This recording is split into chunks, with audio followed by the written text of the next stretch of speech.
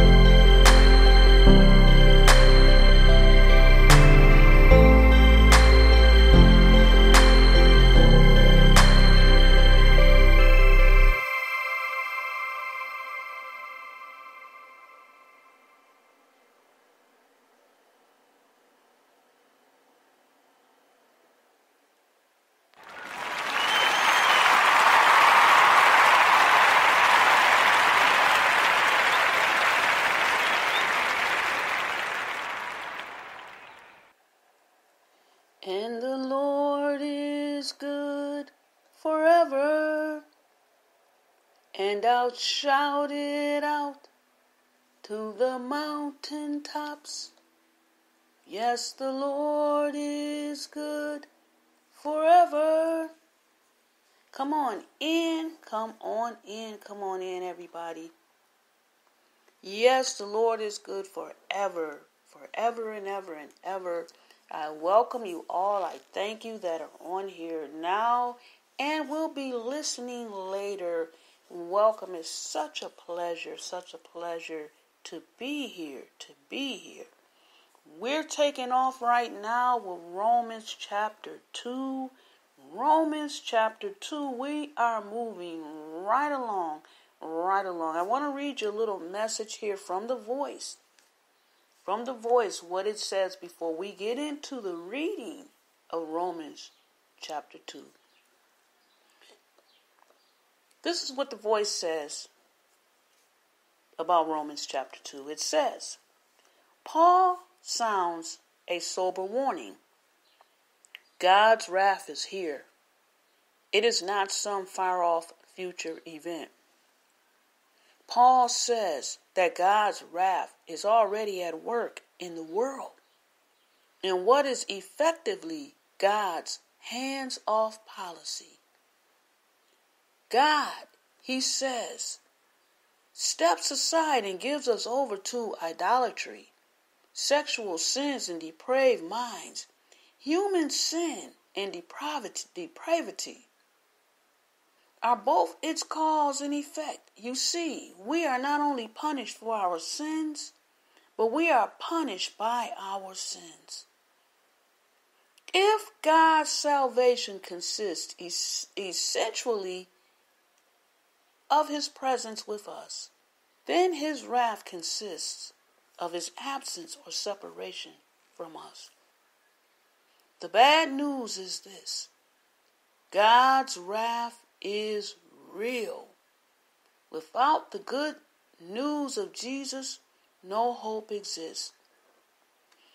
This ties in with verse uh, Romans chapter 1 where we read a lot about all of these things idolatry, um, uh, fornication, and all of these things that are not permitted.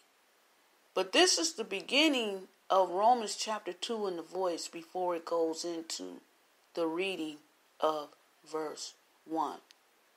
We are going to jump over now to the KJV, and I am going to begin reading Romans chapter 2. I hope you have your Bibles open, and if you don't, go ahead and sit back and listen, listen up. And I encourage you to download the shows. Download all the shows we know this is internet radio, and sometimes things don't always stay on forever. There are times when some of the podcasts will be um, taken off the main portal and taken over to the archive. So if you have it downloaded on your site, then you'll have it forever and you'll be able to listen to it on your favorite device. Verse 1. Verse 1, Romans chapter 2 starts off saying, Therefore, thou art inexcusable, O man, whosoever thou art that judges. For wherein thou judgest another, thou condemnest thyself. For thou that judgest does do, doest the same things. Let's go over here to the voice. And let's read this verse 1 here and see for more clarity. It says, So you can see there are no excuses for any of us. If your eyes shift their focus from yourselves to others to judge how they are doing, you have already condemned yourselves.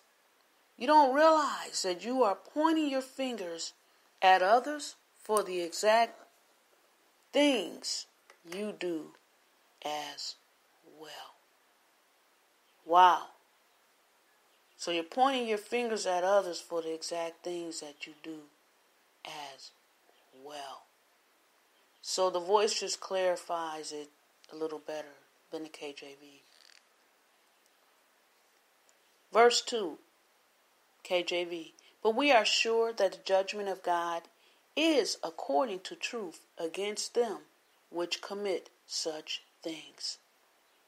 And thinkest thou this, O man, that judgest them which do such things, and doest the same, that thou shalt escape the judgment of God? You see, you're doing the same thing, but you're judging someone else, is what it's saying. So that person that's doing the judging and doing the same thing is not going to escape the judgment of God. Verse 4 Or despisest thou the riches of his goodness and forbearance and long suffering, not knowing that the goodness of God leadeth thee to repentance? But after thy hardness and impotent heart treasurest up unto thyself wrath against the day of wrath, and revelation of the righteous judgment of God, who will render to every man according to his deeds.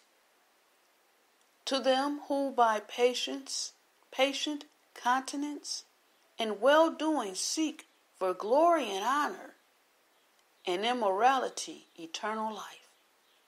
But unto them that are conscientious and do not obey the truth, but obey unrighteousness, indignation and wrath, tribulation and anguish, upon every soul of man that doeth evil, of the Jew first, and also of the Gentile.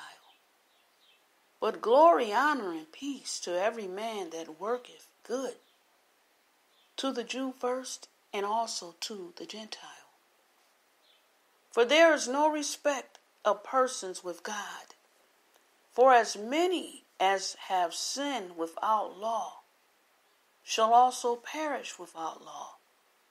And as many as have sinned in the law shall be judged by the law. For not the hearers of the law are just before God, but the doers of the law shall be justified. For when the Gentiles, which have not the law, do by nature the, the, the things contained in the law, these, having not the law, are a law unto themselves, which show the work of the law written in their hearts, their conscience also bearing witness in their thoughts. The mean, while accusing or else excusing one another. Verse 16 In the day when God shall judge the secrets of men by Jesus Christ according to my gospel. Behold, thou art called a Jew, and restest in the law, and makest thy boast of God, and knowest his will, and approvest the things that are more excellent, being instructed out of the law, and art confident that, that thou thyself art a guide of the blind, a light of them which are in darkness, an instructor of the foolish, a teacher of babes, which has the form of knowledge and of the truth in the law. Thou therefore which teachest another, teachest thou not thyself? That thou preachest a man should not steal, dost thou steal? So you teach one, have you not taught yourself?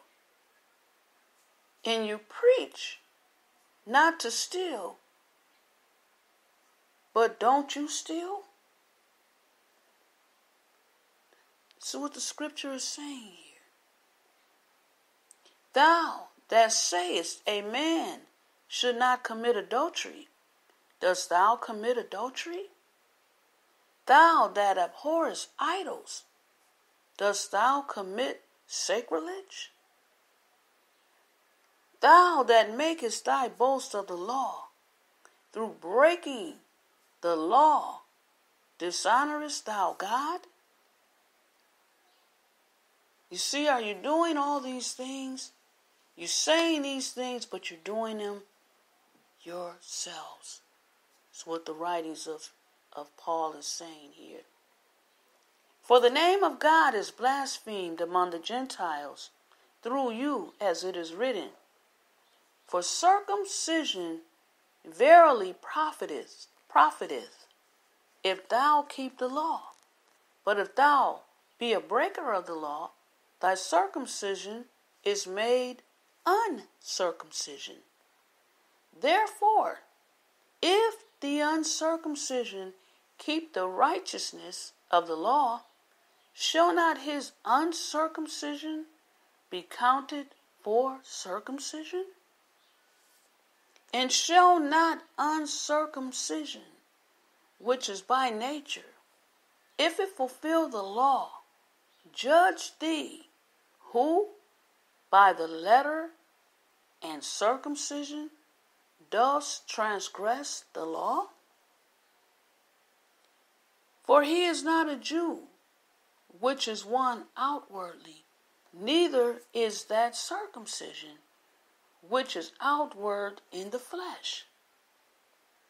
But he is a Jew, which is one inwardly, and circumcision is that of the heart, in the spirit, and not in the letter, whose praise is not of men, but of God. You see, it's saying you can be a Jew.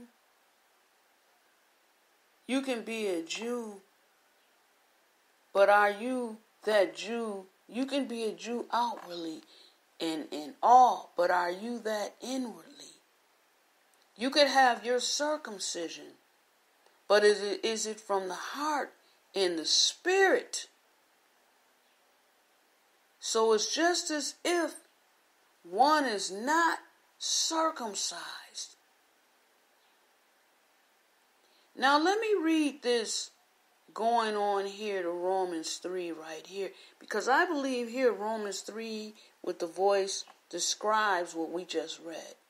It says, When God's people are people who claim to be God's people are hypocrites, then God is the one who gets the bad name. How often do we say one thing and do another? How often have we set a standard for others only to break it ourselves? The saying is true. We practice every day what we believe. All the rest is religious talk. There's a lot of religious talk out there.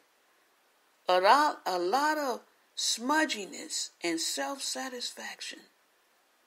But everyday people readily violate their consciences and the Lord's reasonable teachings. For faith to matter, it has to get under your skin. And that does sum up Romans chapter 2. You know, we just can't be sayers of the word. We have to be doers as well, as well. You know, um, verse 3 here in the voice says, Here's what is happening. You attack and criticize others, and then turn around to commit the same offense yourselves. Do you think your will somehow dodge God's judgment? Verse 4 here says, Do you take the kindness of God for granted? Do you see his patience and tolerance as signs that he is a pushover when it comes to sin? How could you not know that his kindness is guiding our hearts to turn away from distractions and habitual sin to walk a new path? You know, so we have to be careful. Not just saying, but doing. People are watching us in our everyday lives. People that we don't even know. Online, they're looking at your social media, they're looking at what you post, they're listening to what you say. And it's it's it's sometimes you can go on a, a a lot of pages. A lot of pages. I, I get a lot of um, um, uh, friend requests. And it says, oh, I'm a true worshiper of God and this and that. But when you go down their page, it's all kind of obscenities. Cursing and videos are not right. And, and all of that. Facebook um, um, Instagram, TikTok, a lot from TikTok saying they're this person and that person of God and follower of the Lord. And when you go on to TikTok and look at the videos that's going on and look at what they're saying, and some of the videos they're speaking about God, they're speaking. But in in the same video, they're saying curse words. Curse words are just flying. But they're putting God's name in as well.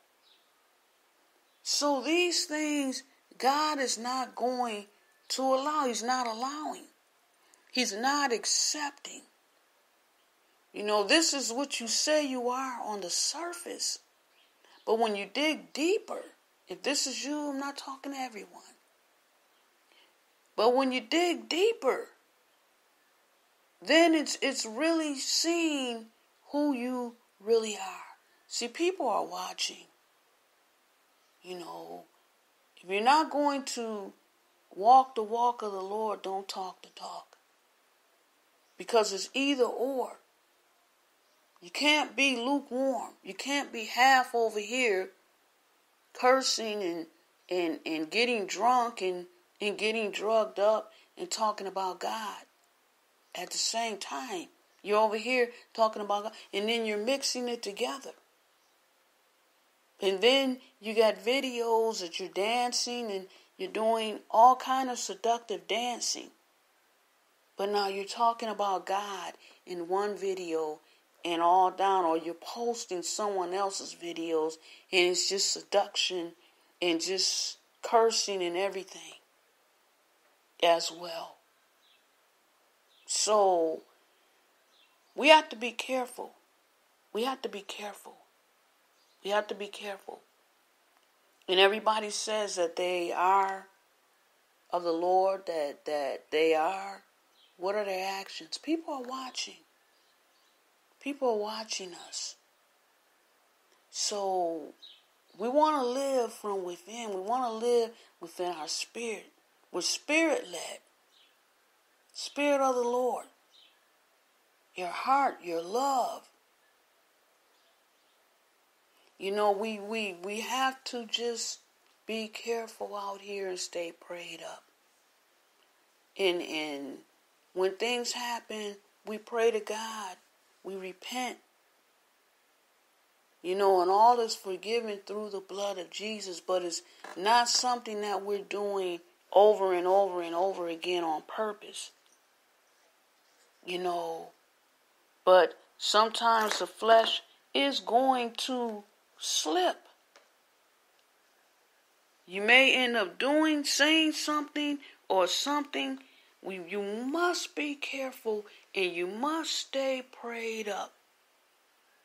And don't get out here and and and and get tied up into fornication and adultery and all of that. I know um, when growing up and everything, and and um, it was suggested that my mom said that she was growing up, you had to have chaperones. They had chaperones, and um, she was studying with the witnesses, and they advised chaperones. No, I don't go along with all everything and all that, but she they they suggested chaperones even though it was the same religion and everything, the flesh is weak. You know, so we, you know, you got to be careful out here. And there are Christians, you know, looking for a mate and things like that. Let God bring that mate to you. Pray to the Lord. Let God bring that mate to you. And anyone can say, Yes, I was baptized. I've been baptized from a little child. You know, yes, yes, yes. I go to church, I, I worship. But then what are their actions? And there's one that was listening to um, a service yesterday, um, not yesterday, but Sunday, and um, there's a Christian woman that, that says, you know, she's in the dating scene, she's dating you know, and she's dating Christian men, so they say they're Christian. She said, but what she's having a hard time finding is that in dating, she says she dates for a long while, you know, he's a gentleman, everything's good, but every man that she's dated for a long while, he has no problem going to bed and sleeping with her. So, really, what's really going on right there. So she doesn't tolerate that. You know, if the man is not, well, no, we need to wait for marriage. We need to wait. But if he's in agreement to go to bed and sleep with her, if she's willing, then no. Or she's just putting the question out there. But they would be willing instead of saying, no, we're going to wait. We've been together this long. We're going to wait. The Bible says this, this, that. Let's be strong. We are not to commit fornication. You know, so, you know, it's kind of good. You know, I can, I can see what a chaperone is is needed or you know um and also go out in groups you know go you know back back in you know my mother was saying you know go out in groups so you're with, with a group you may go skating you may go whatever to dinner go out with groups to keep yourself you're still going out but that group is is basically kind of like chaperones, you know, because you're not gonna do certain things in front of a group, but you're still out with that person. You're still dating. You still had a good time. You you went out, you know, and everything is still positive. So just be careful. I just wanted to throw a couple things out here that you know people are watching we gotta be we gotta be careful. We gotta if it, if it's in us to walk that way, we're gonna walk that way. So just wanted to throw that out there, and I really appreciate you all um, being here. I really appreciate everything. I thank you for um, your listening contribution, and um, the podcast. It, it is spread basically practically been, I can't think of a, a country that the podcast has not been in all over the world. And I just want to thank you for your um, listening contribution, sharing the word, spreading the word. Download the shows. Make sure you download and come on back, come on back, come on back. So, dear Heavenly Father, in the name of Jesus, we humbly come to you, Father. And we thank you, Father. We thank you, Father, for being right here in the midst, for us learning, for us growing, for Father God, your word is bond. Your word, Father God, we thank you.